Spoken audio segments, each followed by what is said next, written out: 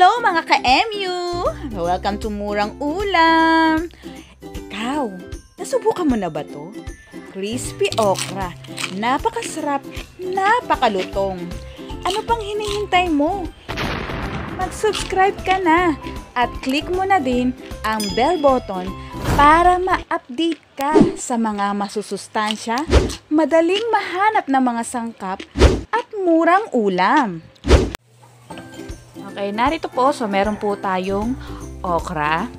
Hihiwain lang po natin. Tatanggalan natin ng ulo. O, mga sisams. Ulo. Ulo ng okra. Kayo ha.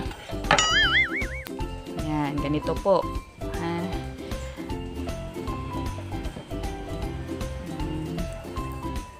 Tapos, ito po. Bali, bumili ako ng 30 pesos nitong okra. So, baka tatanungin kung bakit kailangan nating hatiin pa.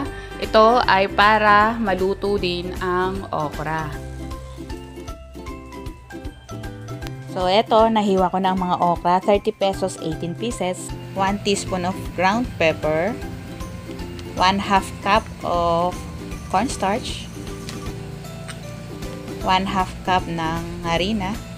Ito yung ginagamit na breading, no? Chicken breading sa fried chicken. So, 1 cup nito, chicken breading. At 1 cup of water.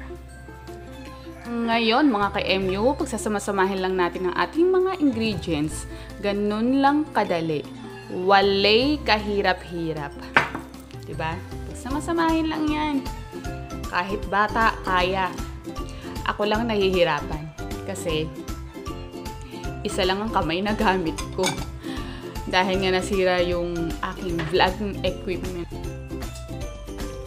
Oops, mali ako ha.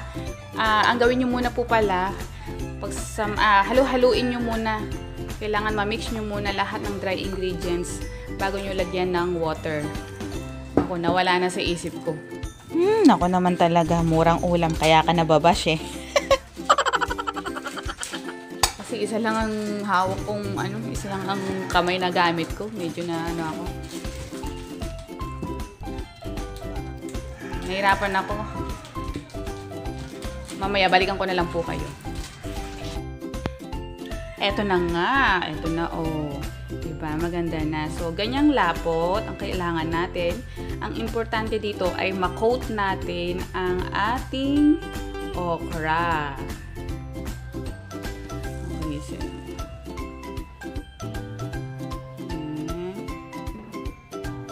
Okay na to. So, i-check natin ang ating okra kung mako-coat siya. Siyempre, kailangan natin yun.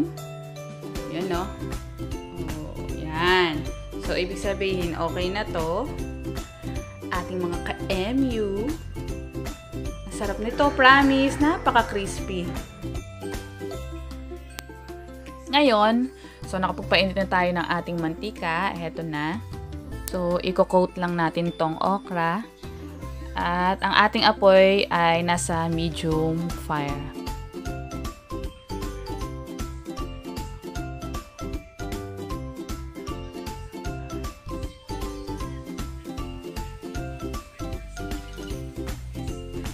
Napakasarap po nito. Yung mga bata, kung hindi kumakain ng okra, subukan nyo muna pong pakain sa kanila kasi napaka-crispy nito eh eh, baka magustuhan nila. So, ang ginamit ko palang chicken breading dito, yung maanghang. Kulay pink yon Meron nun kulay red, hindi yun maanghang. So, kung kakain din ng kids, yung red ang bilhin nyo. Akin kasi stock ko na yun eh. Natira sa aking stock. Be sure lang na hindi expired.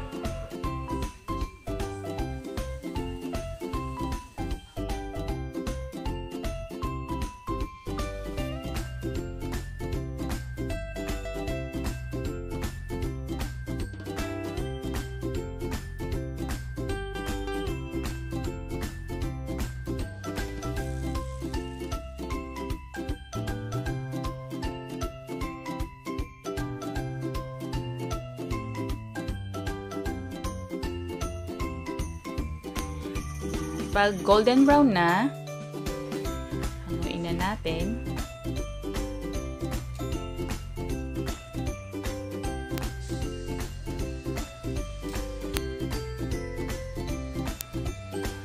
Hmm. O, diba? Napakadali lang, mga ka-MU.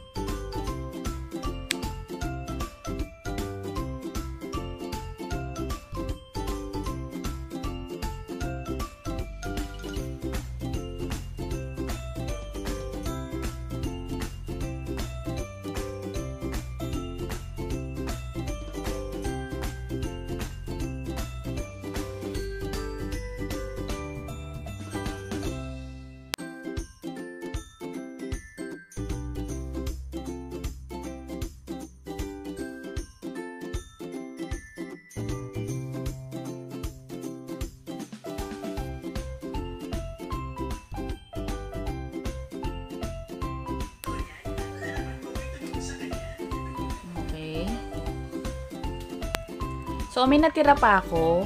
Kasi yon kung ano lang yung kaya naming ubusin, pang ulam. Pang ulam po kasi yun eh. So, yun lang po yung niluto ko.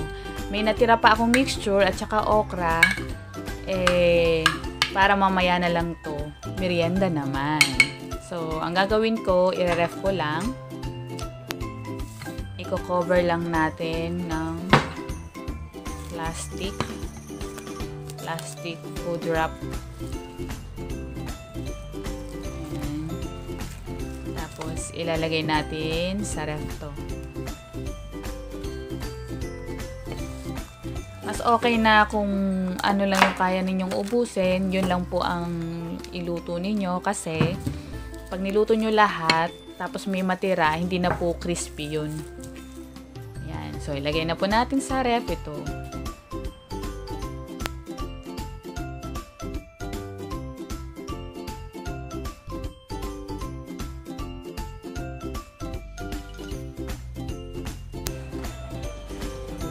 Natin.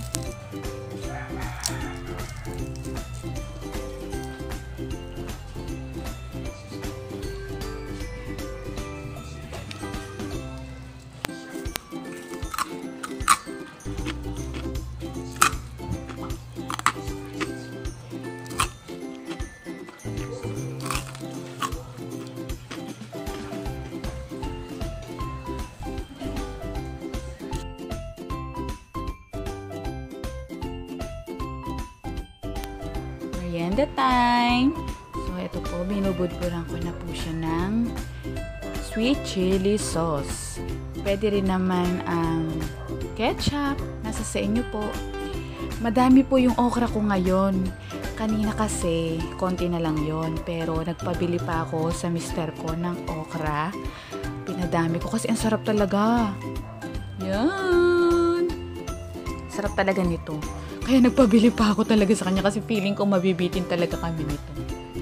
Ito. Oh, para malaman nyo.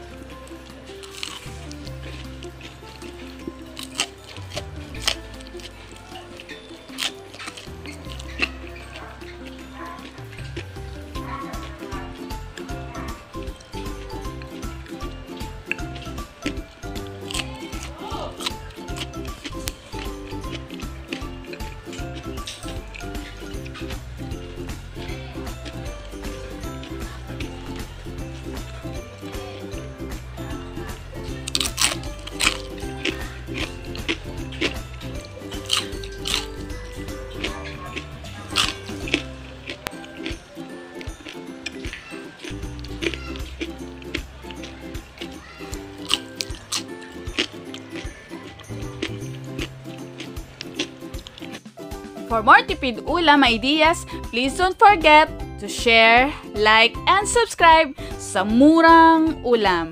Thank you for watching!